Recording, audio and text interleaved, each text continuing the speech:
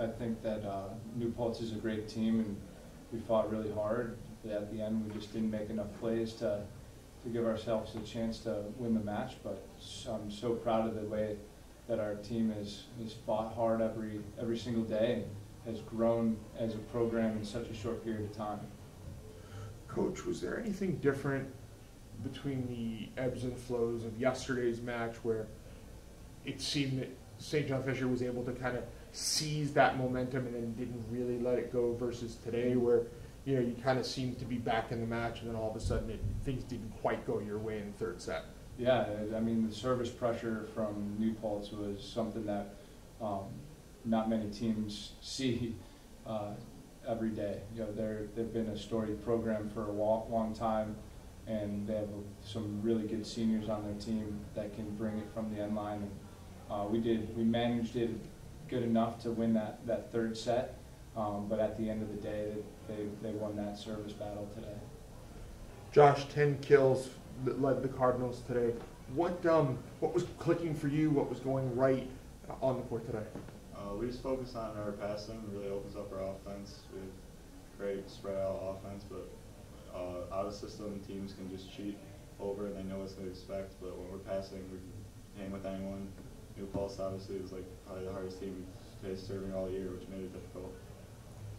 David, obviously year two of the program, and there's a lot of growth here still to come for the program. What was it like for you, kind of being a part of this team this year, and, and what are you specifically looking forward to as the team kind of continues its its forward momentum? Well, last year we kind of we struggled as a program. We were like 500, and then this year we made a huge jump to like competing in the semifinals of UVC. So just the jump that we made from last year to this year, and then what we're gonna make from this year to next year is what I'm looking forward to. What do you guys look at, David, as a player? You evaluate, you know, as you said, year, year by year, but what do you take out of this match as you kind of look to build upon what you've accomplished this year, looking ahead a little bit? Well, the majority of our uh, team is underclassmen besides the three seniors that we're losing. So the fact that we were able to gain this experience, like we've never been here before, so this will only help us down the road. Josh, what has it meant to you to kind of represent St. John Fisher and, and third seed in probably the best volleyball conference in the country? It's a big deal. Um, what did that mean to you and your growth, and what does that mean for the program looking ahead? Yeah, uh, I don't think anyone expected us to be here really, coming in preseason number eight in our conference, but working hard every day our room. I think we knew that we were this good, but it was good to show the rest of the country that how good we could be and how good we can be in the future. Coach, obviously a young team. You do have a couple of seniors on the, on the team.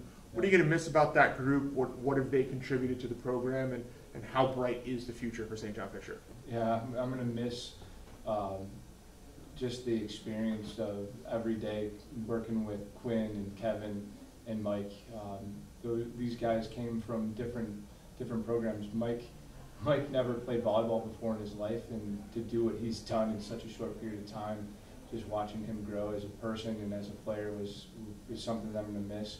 Kevin was a baseball player before he started playing volleyball with us, and he just had high school experience, so it, the hard work and dedication and um, the sacrifices they made for their teammates coming into to the program and, and they really bought into the system and what we were trying to do from a cultural standpoint. And we wouldn't be here without those guys you know recruiting the other players that were just on campus when we started the project. And then, had, what do you take out of this experience, despite the result, as you kind of continue to move forward with, with the remainder of the roster? the experience is priceless. Anytime you can be in a playoff situation where um, it's a win or go home with such you know such great we have a lot of talent and we needed to go through this experience and yeah it sucks to lose but at the same time if we don't fail we can't grow. And that's what we've been telling these guys from day one to stick with the process and, and trust in our systems. And I think the results have showed that. And I don't I don't think if you told me in December of 2016 when I was hired to coach the team um, that we were going to be in the semifinals two years later. I would have thought you crazy with with how daunting the task of putting the team together, but it goes to show the character and the quality uh, student athlete that we have at St. John.